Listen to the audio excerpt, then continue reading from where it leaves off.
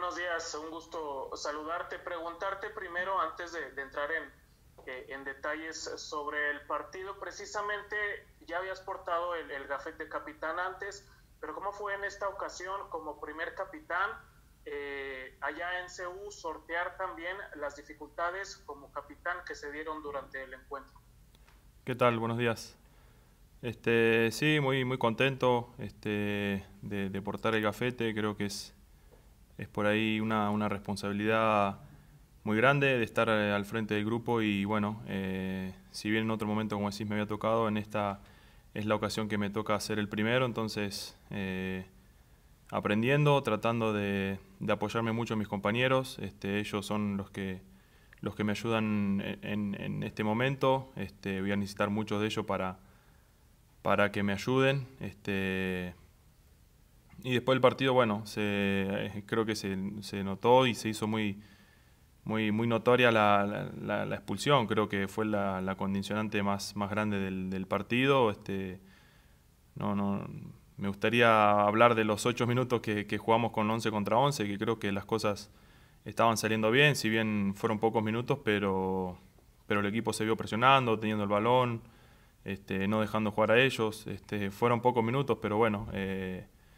después tratamos de, aguantar, este, si bien la, altura también hace su, su efecto, eh, fue, fue muy complicado. Eh, estar en, desventaja continuamente. Eh, ellos tienen jugadores de, gran pie y, con pase filtrado, jugar por afuera, por dentro, tenían muchas facilidades, entonces fue, fue complicado en un momento y bueno, tratar de, mantener el ánimo de, los compañeros y sabíamos que, podíamos llegar a tener las chances en algún momento en el segundo tiempo si ellos se, se desprotegían en algún momento, pero bueno, no, no se dio, ellos siempre estuvieron bien armados y fue difícil. Seguimos, con Beto, por favor tal, Julio? Buen día, ¿cómo estás? Hola, Beto, ¿todo bien? Gracias. Eh, oye, eh, ¿cómo te has sentido y, qué tanto te beneficia esta nueva forma de atacar sin, sin Brian Lozano? Sabemos que no se pudo ver, como bien lo comentas, eh, esta nueva idea con los carriles más abiertos, más adelantados, pero ¿cómo te has sentido tú? ¿Te llegan balones a modo? ¿No? ¿Cómo ha sido esta nueva forma de atacar? Sí, si bien Brian eh, era quizás el que mayormente me asistía con, con, centros más que nada, este, quizás después nuestro juego se, se, terminó para jugar un poco más por bajo, quizás no tanto de centros. Este, ahora llegamos con, con más gente al área, me parece. Este, si bien, como decís, no, no se vio en el partido el otro día, pero bueno, los amistosos eh, llegábamos con Gerardo y con, con Orrantia por fuera, Diego estando cerca de, nosotros dos. Este, eh, creo que, que, sí, un poco más acompañado y, y, tener a Diego cerca creo que es un, es un beneficio para el equipo. Es, es un jugador eh, con una técnica muy buena. Este, sí, quizás en, algún momento le faltó el poco el ritmo de, de seguir jugando muchos partidos y, y, lo está agarrando. Entonces creo que ahí está eh, la clave que él nos va a dar el juego para nosotros. Adelante, tal, Julio? Buenos días. Saludos a Luis Jiménez del grupo Multimedios. Julio, quiero regresar otra vez a lo que fue el juego de Cruz y principalmente cómo tuviste el, el, tema del arbitraje. Y mi pregunta va encaminada a esto. ¿Tú crees que el arbitraje se carga a ciertos equipos, eh, en este caso Cruz Azul, caso Tigres, caso Chivas que viene el próximo domingo? Eh, porque vimos varias acciones, por ejemplo este sábado, una jugada donde casi atropellan a Ulce Rivas y ni siquiera van al bar, o el tema de Guiñac que le sacan amarilla cuando le protesta al árbitro. ¿Tú crees que se cargue el arbitraje a ciertos equipos? ¿Qué tal? Buenos días. No, creo que no. Este, nosotros antes de empezar el torneo tuvimos una charla con, eh, con la gente de, del cuerpo arbitral y, bueno, nos mostraban eh, las distintas jugadas que habíamos tenido a lo largo del torneo anterior y en cuáles eh, habían fallado, en cuáles no, entonces yo creo que, que ahora, eh, por ahí volviendo a la, jugada del, de la expulsión de Hugo, creo que en, muchas jugadas se tiene que ver la intención ¿no? de, del jugador y quizás es lo que le falta por ahí a, a tanto los árbitros como a la gente del bar interpretar ¿no? en esas jugadas, porque si vos ves la, imagen congelada, sí, piensas que, es un pisotón bárbaro y que, y que es roja directa. Este, después creo que Hugo va a pisar para, para volver para atrás y, en ningún momento ve la, pierna de, del cabecita y bueno, eh, lo pisa sin querer, yo creo, no, no, no, va, no va de, mala intención, entonces quizás en muchas jugadas sí hay que, sí hay que interpretar eso, ¿no? la intención que tiene el jugador, muchas veces se ha visto jugadores saltando y pegando sin querer y los terminan expulsando igual, bueno, millones de jugadas que hay, este, pero creo que, por lo que, por lo que pudimos escuchar, ahí hoy, en día se escucha todo ¿no? en, la, en, la cancha, entonces la intención del árbitro no era expulsarlo. Después, eh, con la imagen congelada y, y el apoyo arbitral del VAR, eh, decidió expulsarlo. Adelante, Hola, ¿qué tal, Julio? Buenas, eh, buenos días. Buenos días. Soy Azteca, preguntarte. Eh, de cara al partido Chivas, que el Guadalajara llega con tantas ausencias como la de Alexis Vega, Antuna, Ronaldo Cisneros, Beltrán, el Chapo Sánchez, hace más vulnerable al, Guadalajara eh, y podría permitir que Santos tenga un poco más sencillo tener su primera victoria del, torneo. Y nosotros pensamos nosotros, eh, en el rival que venga, con los jugadores que venga, nosotros de local tenemos que ganar. Este, más después de haber perdido la primera fecha, eh, creo que, que, Chivas siempre es un rival al, que se le quiere vencer, tanto eh, más de local, este, y como empezamos el torneo. Este, jugadores lo que vengan, eh, nosotros trataremos de, ganar y pensamos nosotros. sí que va a ser un, partido complicado porque ellos tienen un gran plantel también y tienen muchas variantes en, en, esas faltantes que por ahí les van, no van a tener en el día del domingo, pero creo que, que, nosotros pensamos en nosotros y lo importante va a ser ganar el primer partido local. Adelante, Daniel Velasco. Sí, ¿cómo estás, Julio? Hola, Daniel.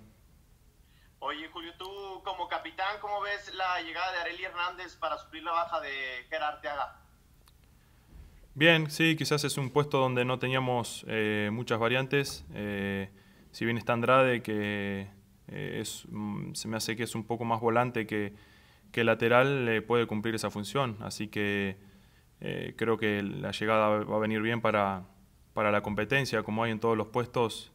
hay, hay, gran competencia y eso hace crecer al grupo, así que lo esperamos y bueno, que, que, venga a competir y a ganarse un lugar, eso va a ser más fuerte al equipo. Adelante, Zabaleta. Hola Julio, buenos días. Zabaleta, Imagen Laguna. Buenos días. Eh, preguntarte en relación a lo que acabas de comentar, me parece bastante interesante. ¿Sientes que también, sin hablar de temas de, equivocarse en el, árbitro, pero sientes que el árbitro tiene otra presión al, no tener público, al escuchar todo lo que se grita en la cancha, a escuchar incluso lo que gritan los técnicos desde la banca? ¿Sientes que va a cambiar ese tema con el arbitraje? Yo creo que los gritos y, y lo que no se escucha o lo que se escucha no a ellos no lo tiene que afectar. Ellos tienen que, marcar la falta como es eh, y tratar de que el VAR sea una ayuda ¿no? y no sea quizás quien decida eh, cómo, cómo, determinar la jugada, me parece a mí. Este, lo veo más desde ese punto de vista.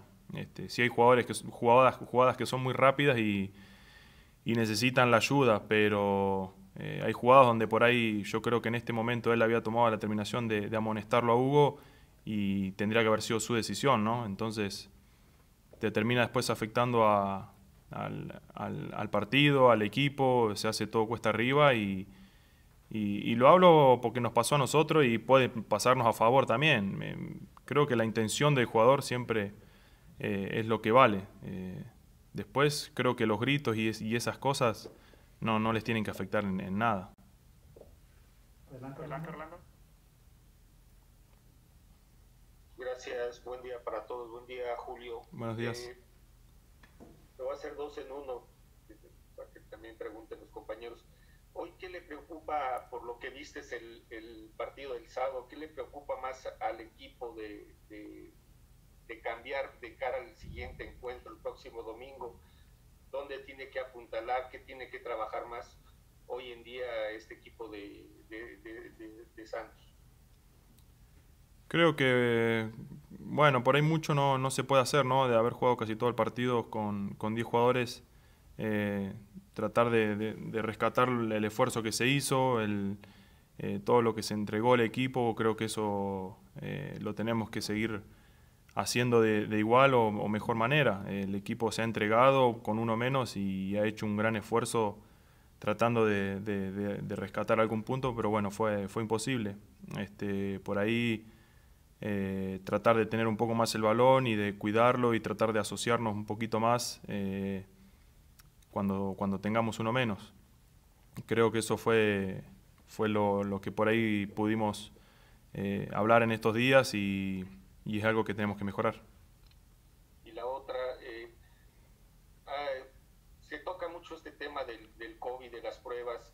¿Ustedes cómo van en, ese, en esa índole? Inclusive jugadores que se han ido a jugar a la MLS ven que, que la MLS hace, cuida más al jugador, se preocupa más por el jugador y que la Liga MX no se preocupa por, por estas cuestiones de, de este síntoma allá les hacen prueba cada dos días, hoy ahorita que están en este micro torneo allá, eh, ¿tú sientes que la liga debe hacerles a ustedes cada dos días eh, pruebas para que todos estén limpios, no haya contagios y toda esa parte? Bueno, acá prácticamente eh, no a todos, pero bueno, al que ha sentido algún síntoma o, o, se ha sentido un poquito mal, se le ha hecho la prueba ahí al día siguiente. Entonces, creo que lo están tomando más por ese lado y no por de hacerlos eh, a todos cada, cada dos días. Este, creo que por lo que vivimos esta primera fecha, nosotros en cuanto a viaje, en cuanto a traslado, en cuanto a llegada al, estadio, eh, hubo mucho cuidado. Este, y creo que, por el momento salimos ilesos, ¿no? De ahí hay que, hay que ver cómo seguimos en estos días, pero bueno, es, es un virus eh, muy raro, eh, muy contagioso, que en cualquier momento le puede tocar a uno y no sabe de dónde es. Eh, puede, ir el, puede ser en el súper, puede ser en, en, el avión, puede ser en, el estadio, nunca, nunca sabe dónde lo puedes contraer. Entonces, creo que sí, lo que yo vi, se, hubo mucho cuidado de parte de la liga. Una vez más, por favor. Julio, Santos históricamente es muy fuerte de local, tiene más de un año invicto en casa, pero han sido juegos, salvo el último, con, gente. En la tribuna se habla mucho que la gente también hace su partido. Ahora que va a ser así, ¿se puede mantener esta fortaleza? Y la otra, ¿qué es lo más difícil de jugar sin gente? Bueno, voy a empezar por la segunda. Lo más difícil, eh, creo que la gente en, fin, el, fútbol es un, es un espectáculo, ¿no? Y la gente viene a, disfrutarlo, eh, nosotros también, quizás con un poquito más de, responsabilidad, de, jugar y de hacer las cosas bien. Este, creo que eso es lo que más afecta, ¿no? Al, a, la, gente, a la alegría, al entretenimiento, eh, al show. Eh, creo que eso es, es lo que más se ve perjudicado hoy en día. Por ahí mucha gente venía a desahogarse el fin de semana y ahora eh, no, no, no, lo puede hacer. Este, y verlo a través del, de la tele creo que no es lo mismo. Entonces, eh, sí, en ese aspecto eh, es lo que perjudica. ¿no? Nosotros por ahí, muchas veces, si bien estás concentrado y todo, pero en un momento te detenés cuando la gente grita un gol o salir a, a, gritar un gol y la gente lo está gritando contigo. Creo que eso es, es algo muy lindo y es lo más feo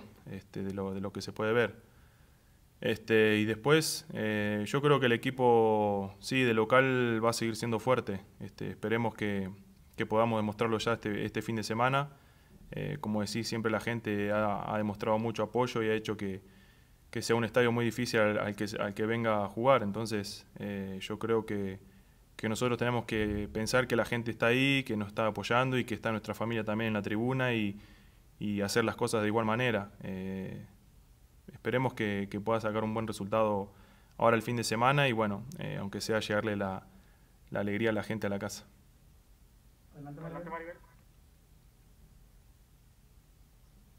Hola Julio, buen día a ti a todos, un saludo. Este, volviendo a lo que sucedió en el partido contra Cruz Azul, obviamente, bueno, ustedes tenían un hombre menos, pero también hay que destacar que, bueno, prácticamente ofensivamente no, no crearon mucho peligro. ¿Cómo cambiar esto en una semana precisamente para que el próximo domingo se tengan esas llegadas contra Chivas?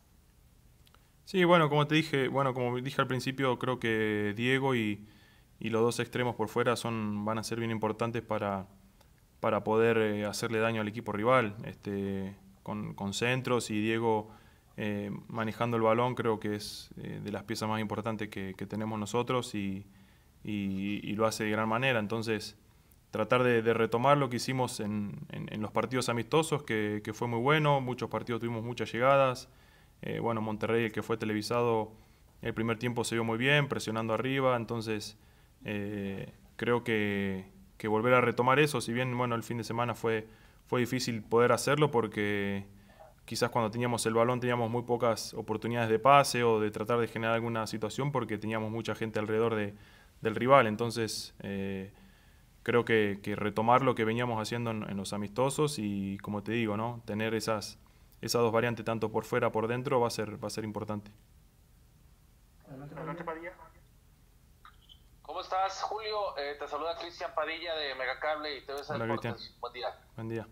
Julio, eh, mi pregunta, eh, hemos visto que llegó eh, pues competencia para el puesto de la delantera, vimos a, Osejo, la permanencia de Octavio Rivero, este, algunos chicos por ahí también que están del mismo modo Aguirre.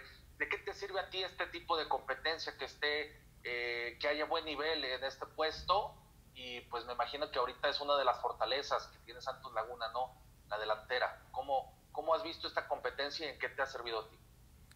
Sí, hay mucha variante. Este, hay muchos chicos jóvenes con, muchísimas ganas y, eso hace a uno que no, que no te relajes, ¿no? Eh, tener gente que esté eh, con, muchísimas ganas y, en los entrenamientos querer ganarte, querer demostrarte que, pueden estar ahí entre el 11 o que te pueden sacar el lugar, creo que eso siempre me, ha servido mucho a mí este, para, para poder seguir mejorando, seguir creciendo. Este, los chicos hoy, la verdad que están demostrando, eh, en los partidos amistosos también han demostrado un gran nivel y bueno, todos están creo que listos para jugar. Este, hay tanto juventud como gente grande que, que puede aportarle al equipo y bueno, este, todos estamos peleando ahí para, para hacer mejor el equipo, que eso es lo que más queremos, ¿no? Todos eh, entrenar a buen nivel y hacer que el, que el, equipo crezca y esté en los puestos de arriba.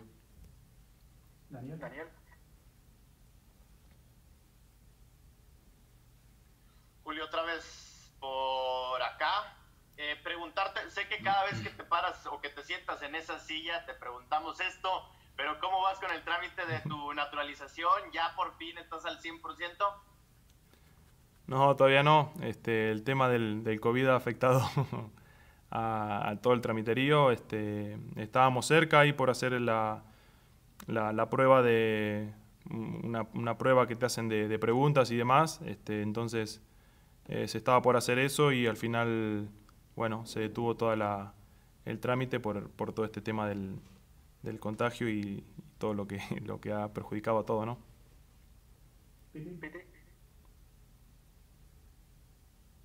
Otra vez por acá, Julio, ¿me escuchas? Sí.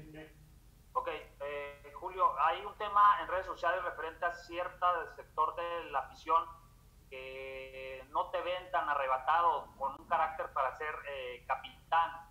¿Qué les dices a ellos? Este, la verdad no, no, no sé eh, qué decirles. Por ahí mucha gente piensa que, que el, capitán tiene que gritar, que tiene que que, pelearse con el árbitro, que pelearse con, los jugadores, que pelearse. Y, la verdad que no lo veo así. Yo no, no, voy a ser un capitán así. Este, yo tengo mi personalidad y, trato de, demostrarlo en el vestuario, este, de demostrarlo en los entrenamientos, dentro de la cancha, con, con respeto, con, con mucho trabajo. Hablo mucho con mis compañeros, aunque por ahí adentro del, del, partido no, no, se vea. Este, sí quizás por ahí Mateus o, Hugo son más de, de, ordenar o de gritar porque ellos ven la, la, cancha de otra manera, ¿no? Entonces ellos ven a, sus compañeros, a nuestros compañeros los ven de espaldas y sí los puedes guiar. Yo por ahí estando arriba es difícil eh,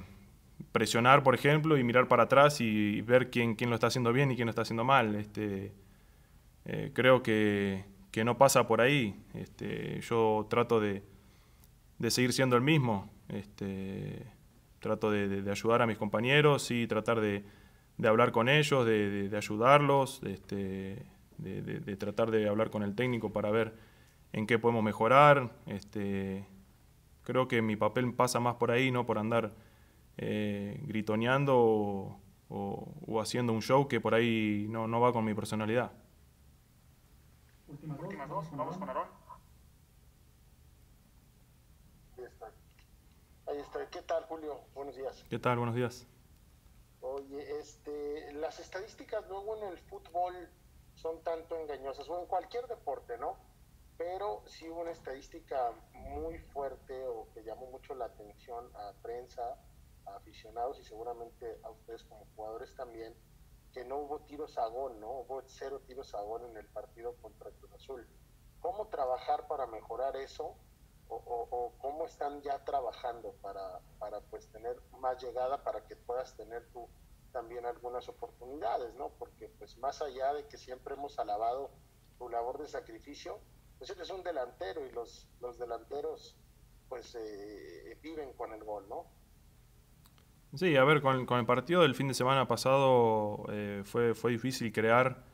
Eh, en el primer tiempo sabíamos que, Cruz Azul se iba a venir con todo y iba a querer sacar la ventaja, que bueno, consiguió sobre el final. Este, después, eh, cuando pasamos a jugar con 4-3-2, este, sí tuvimos un poco más de, aproximación, pero en ningún momento nos pudimos acomodar como para para tener una situación de gol. Sí hubo centros, sí hubo por ahí algunos disparos que, salieron mal, este, tratábamos de, conseguir algo y, no se pudo. Sí tuvimos algunos cornes también donde pudimos haber conectado de, balón parado o centros del costado. Este, sí, en realidad no hubo ningún disparo, pero eh, creo, como, como dije anteriormente, en, los amistosos que, estuvimos jugando 11 contra 11, sí el equipo se lo vio con mucha llegada y llegando con mucha gente, así que esperemos que, este fin de semana que viene lo podamos, eh, lo podamos hacer como lo veníamos haciendo en los amistosos y, llegando y creando muchas situaciones como, como cualquier delantero quiere. Una última, última Jorge. Julio, una más eh, de mi parte, preguntarte, ¿le sorprendió la salida de Gerardo Arteaga por condiciones? Está claro que en cualquier momento iba a dar el salto, pero el momento en el que se da, porque ya se había ido un hombre importante como Jonathan Orozco, porque ese sector de la defensa junto con Doria era quizá la más sólida, porque había que reemplazarlo rápidamente. ¿Les sorprendió tanto a ti como al grupo la salida en este momento de Gerardo Arteaga?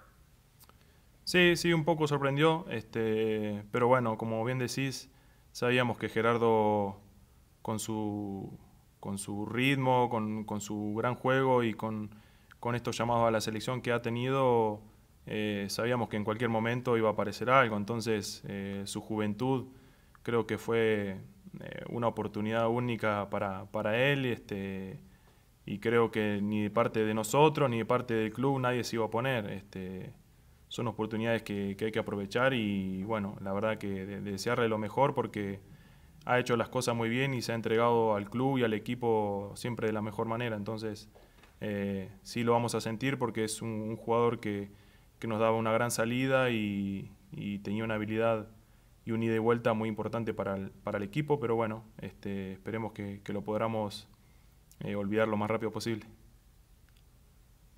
¿Listo? ¿Listo? Muchas gracias, Julio. Gracias a todos por, por, su participación. y les informaremos, sobre las próximas compras. Muchas gracias. Nos vemos. Gracias.